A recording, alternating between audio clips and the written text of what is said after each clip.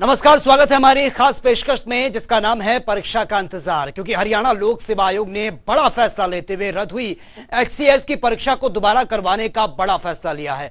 अब परीक्षा 10 जुलाई को आयोजित होनी है, और आपको यह भी बता दें कि प्रिलिमिनरी और डेंटल सर्जन की जो परीक्षा है, उसमें बड़ी गड़बड़ी के चलते इसको रद्द किया गया था, और इस दौरान स्टेट विजिलेंस ब्यूरो ने एचपीएससी के तत्कालीन डिप्टी सेक्रेटरी अनिल नागर के साथ कई अधिकारियों को गिरफ़्तार भी किया था। वहीं अनिल नागर से कई करोड़ों की नकदी भी इसमें जब्त की गई थी।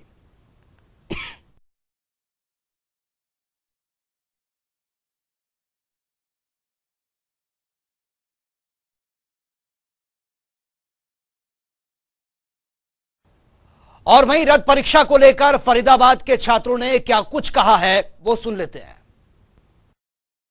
इस परीक्षा के बारे में कहना चाहूँगी, सरकार का पता नहीं किस तरीके से सरकार ने ये रूल रेगुलेशन बना रखे हैं कि इतना करप्शन आ गया है कि फ़र्स्ट पेपर हुआ, उसमें पेपर लीक हुए। अब हमें नहीं पता वो किसकी गलती थी गवर्नमेंट की गलती थी या अदर पर्सन किसकी गलती थी, लेकिन हमारा तो उसमें नुकसान हो गया, हमने पेपर दिया और हमें उसमें कुछ बेनिफिट नहीं हुआ। अब सरकार ने बोला है कि 10 जुलाई को वो पेपर है। तो पुरानी पिछली बार परीक्षा हुई थी उन जो रद्द कर दी गई है उनके, दोबारा आवेदक उसमें बैठेंगे परीक्षा में तो उनके लिए सही भी है।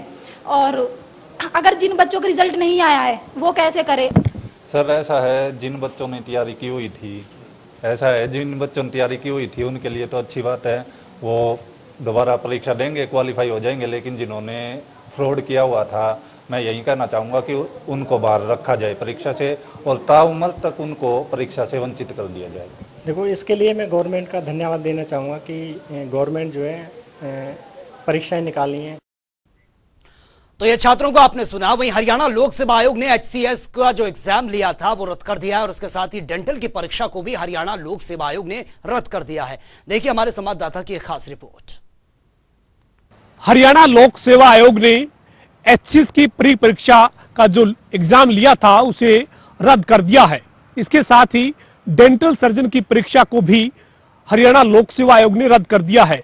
इन दोनों परीक्षाओं को रद्द करने के पीछे जो वजह है, वो है इन दोनों ही लिखित परीक्षाओं के ऊपर सवाल उठे थे और भ्रष्टाचार के आरोप लगे थे। इसी मामले में ही हरियाणा लोक सेवा आयोग के तत्कालीन डिप्टी सेक्रेटरी अनिल नागर की इसी एचपीएससी के कार्यालय से करोड़ रुपए के साथ गिरफ्तारी हुई थी।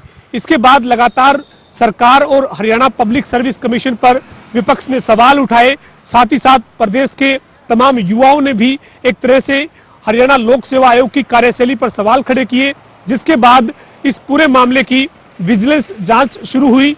विजिलेंस जाँच के चलते अभी हाल ही में ही हरियाणा लोक सेवा आयोग ने एच की परीक्षा जो 12 सितंबर 2021 को ली गई थी, उसे रद्द कर दिया है। इसके साथ ही डेंटल सर्जन की जो परीक्षा 26 सितंबर 2021 को ली गई थी, उसे भी रद्द कर दिया है। और इन दोनों ही परीक्षाओं को अब जुलाई और जून में लेने का फैसला हुआ है। इसके साथ साथ इस पूरे मामले में एक जो नोटिस जारी किया है एचपीएससी ने, उसमें यह भी कहा गया है कि दोनों ही परीक्षाओं में जब विज्ञापन जारी हुआ था और उसके बाद जो परीक्षा ली गई थी सितंबर 2021 में, उस वक्त जिन अभ्यर्थियों को योग्य पाया गया था, यानी जो उस वक्त योग्य आवेदक थे, उन्हें ही परीक्षा में दोबारा बैठने की अनुमति होगी, यानी कोई भी नया आवेदन जो है, वो जुलाई में होने वाली एच की प्री परीक्षा के लिए और डेंटल सर्जन की 19 जून 2022 को होने वाली परीक्षा के लिए आवेदन नहीं कर सकेगा। नए आवेदन के लिए कोई अनुमति इसमें नहीं रहेगी, लेकिन जो पुराने आवेदक हैं, जो उस वक्त योग्य थे, उन्हें ही, इन दोनों ही परीक्षाओं में शामिल किया जाएगा। लेकिन बहरहाल सवाल यही उठता है कि जो परीक्षाएँ सितंबर 2021 में आयोजित की गई, जिसके बाद भ्रष्टाचार के आरोप लगे और भ्रष्टाचार के आरोप के बाद जो है, वो अनिल नागर की डिप्टी सेक्रेटरी की इस मामले में गिरफ्तारी हुई और गिरफ्तारी के बाद जो है, वो पूरा घटनाक्रम जिस तरीके से हुआ, सरकार के ऊपर दबाव बढ़ा, सरकार के, की इस मामले में मुश्किलें बढ़ी, एचपीएससी को इस मामले में जवाब जो है, वो देना पड़ा और उसके बाद इस भर्ती को जो है, वो कहीं ना कहीं लिखित परीक्षा को डेंटल सर्जन की लिखित परीक्षा को भी रद्द किया गया और एच की प्री परीक्षा को भी रद्द किया गया। लेकिन आखिरकार सवाल यही है कि जो युवा 2021 में इस परीक्षा को देने वाले थे, उन्हें अब 2022 में फिर से परीक्षा देनी होगी। लेकिन इस बीच बाकी जो युवा हैं, वो क्यों नहीं इस भर्ती में शामिल हो सकते? जब इस भर्ती को दोबारा से परीक्षा लेने का जब हरियाणा लोक सेवा आयोग ने फैसला कर लिया है तो फिर नए आवेदकों को इसमें मौका आखिरकार क्यों नहीं दिया जा रहा? केवल उन्हें ही क्यों योग्य माना जा रहा है जो इस भर्ती में पहले शामिल थे? इस तरीके के कई सवाल हैं। प्रदेश के जो युवा हैं, वो लगातार एचपीएससी की कार्यशैली पर सवाल उठा रहे हैं, लेकिन हरियाणा लोक सेवा आयोग पारदर्शिता, निष्पक्षता की बात करते हुए ये जो पूर्व में जो लिखित परीक्षा ली गई है डेंटल सर्जन और एचएस की प्री परीक्षा उनको रद्द किया है और ये कहा है कि निष्पक्षता और पारदर्शिता के चलते ही इन लिखित परीक्षाओं पर जो सवाल उठे हैं, उसके चलते इन्हें रद्द किया गया है और फिर से इन परीक्षाओं को लेने का फैसला हुआ है। लेकिन बहरहाल देखना यही होगा कि इस पूरे मामले में आने वाले दिनों में किस तरीके की क्या स्थिति पैदा होती है। वीडियो जर्नलिस्ट विजेंद्र सिंह के साथ पवन सिंवर जनता टीवी, पंचकुला।